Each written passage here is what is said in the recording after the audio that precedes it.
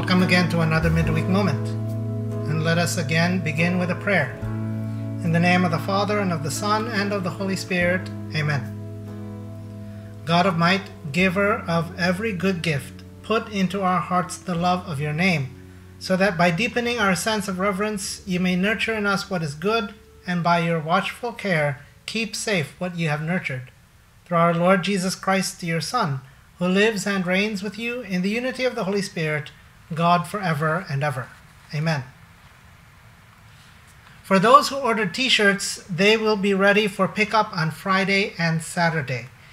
Father Ton will make himself available for, any, for anyone who wishes to stop by the office either of those days to pick up the ordered t shirts.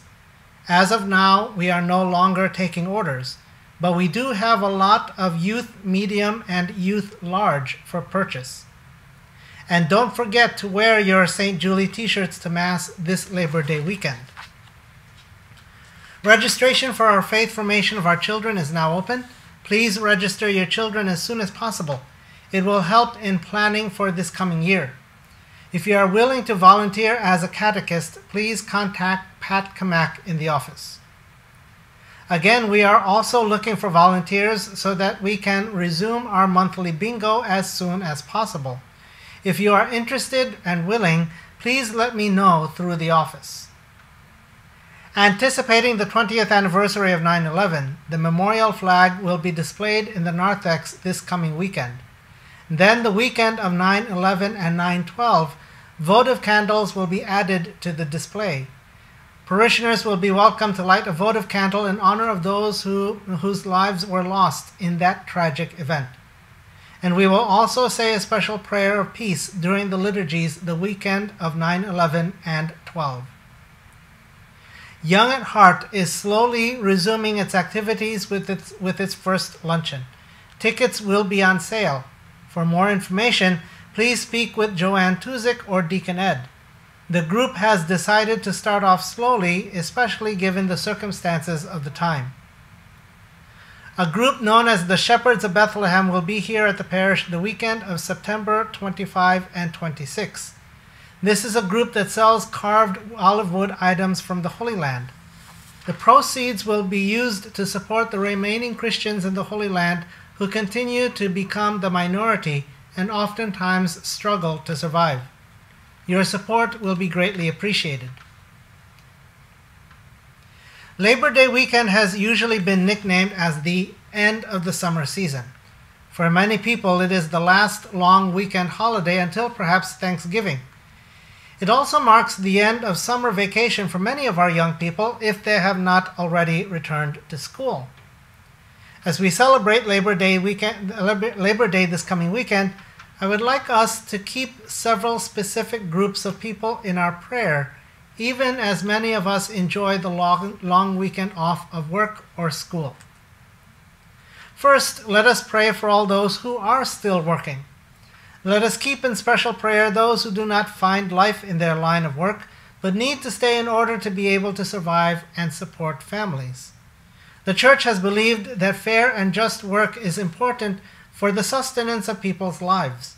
For this very reason, the Church was among the first to support and encourage the formation of labor unions which would help to advance and protect the rights of workers.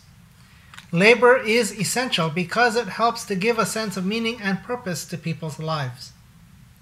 Of course, let us keep in our prayers those who are unemployed or may have lost their jobs, especially during the COVID period. We can all imagine how tough it is to lose a source of income. Saint Joseph would be a great advocate in heaven to turn to in praying for those in search of employment. Let us pray for also our youth and young adults who, who have or will be returning to school.